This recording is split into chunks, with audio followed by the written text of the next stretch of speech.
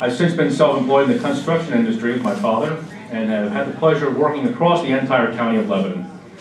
I've served on the Jonestown Borough Council for the past 10 years, six of those as president of the council, and I'm the current, current associate vice president for the Lebanon County Builders Association. Pennsylvania is facing a number of important issues that will affect the entire population of this state over the next two to 10 years, a few of which are education reform, the Marcellus Shale formation, and state pensions.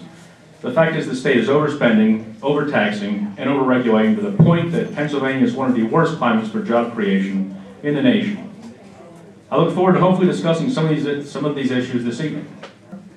I have been in office just over three years and am running for my third term as your representative in Legislative District 102. Some of my accomplishments thus far include unanimous passage in the House of House Bill 933, which would bring up to date the responsibilities of civilian security personnel at our National Guard bases, including our own Indiantown Gap. Twice I was instrumental in the passage of House Bill 169, an update to the small games of chance law, which includes my amendment to allow up to 40% of the profits realized by our fire companies with social clubs, our veterans organizations, and nonprofit civic clubs to be used for operating expenses. I was instrumental in securing H2O grants for municipalities and authorities in my district to help with the cost of federally mandated upgrades to public water and sewer systems. And I was able to get language in the bill authorizing table games to compensate East Hanover Township for the added costs of created by the close proximity of Hollywood Casino while at the same time voting against the bill. But there are many more issues that remain unresolved in state government, including a budget that's in the red by an estimated more than $1 billion, pension funds for state workers and teachers that are severely, severely underfunded, fraud of at least 14% in our welfare system, and badly needed repairs to our bridges and state highways. My caucus has put forth legislation to deal with each and every one of these issues, but the bills are not even brought to a vote in committee, much less on the House floor. It's my hope that the balance of power will change next year and that you will return me to office so that I may be part of the solution. Thank you, Representative Swanger. We'll begin our questioning portion. Jason Kern. Many frustrated Pennsylvanians think that if you lawmakers can't pass a state budget by the constitutionally mandated deadline of June 30th, your pay should be docked for every day over the deadline. Is that a worthy consideration in your opinion? Oh, I, I hardly agree. That would be my solution. Sure, we should have to forfeit pay for every day it goes over the deadline. But let's be clear that our, under Governor Rendell, our state budgets have been late by design. This is one of the tactics he uses to bully us into capitulating to his um, overspending and taxing and, uh, and, and additional borrowing that he always puts on the table. So it's not uh, really a matter of not being able to agree as far as the, you know, the, the, the General Assembly is concerned. It's that he uses this tactic to basically get what, what he wants, uh, along with other tactics like laying off state employees and threatening that. And uh, we found out that uh, the courts told him he can't, he couldn't do that. He couldn't uh, stop paying state employees. Uh, so, you know, I, I think that us having to forfeit our pay, and that means not getting it uh, later after the budget is passed like we do now, but forfeit it entirely. A day's pay for every day that we go over the deadline, I would agree to that 100%. Thank you, Representative Swanger. Jason Kern. I can definitely agree with that, uh, with that uh, feeling as far as uh, forfeiting, forfeiting pay until the budget is passed. Unfortunately, my concern with that is that it might, it might increase the efforts to use short-term fixes instead of actually working towards a long-term fix.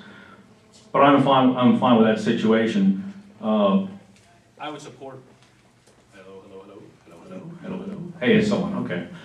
I would support a uh, legislation to fund the, fund the government the previous year until a new budget is passed, to uh, hopefully not deal with the same situation as we went through this past year with 100 days, 100 days late for the, for the state budget. There is significant economic importance of extracting gas from the Marcellus Shale, but there are also serious concerns about cumulative long-term consequences of the extraction process. As a legislator, how would you balance the economic importance and the ecological concerns? Well, there is no question that this Marcellus Shale Formation is a gold mine for Pennsylvania from the energy, from energy standpoints, job standpoints, and there are significant environmental concerns. However, I do know that the State House just, just uh, passed legislation for a three-year moratorium on, uh, on uh, drilling on state, state uh, lands here in Pennsylvania. However, there are already currently six state agencies that regulate those, that regulate drilling on state game lands, state farmland, or forest lands, including the DCNR. The DCNR already has rules set up for the past 60 years of where you can drill, where you can't, where it is proper, where it is not. The EPA has given their blessing on, uh, has cleared uh, uh, water fracturing, water fracturing for gas extraction. And the fact is, we've had, we have 1,600 oil and natural gas wells here in Pennsylvania for the past, some as old as 60 years, and none are currently under remediation and, uh, and have Well, I think uh, Marcellus Shale could be a big boom for the state of Pennsylvania, not only for individual property owners, but also for state, uh, the state by allowing drilling in state forests. There has been drilling going on in state forests for at least the past 20 years. However, it's become more prevalent and more into public limelight because of the, uh, the new uh, procedure they found that uh, you can extract the gas by drilling horizontally instead of now just going down vertically. So that's why there is an increased um, activity from gas companies who want to uh, mine this natural gas, so to speak. Um, I did vote for the moratorium. The three-year moratorium, I don't think is going to hurt anybody. I think it's going to give some breathing room to sit back and say, okay, now, how can we do this better? There have been some mistakes made.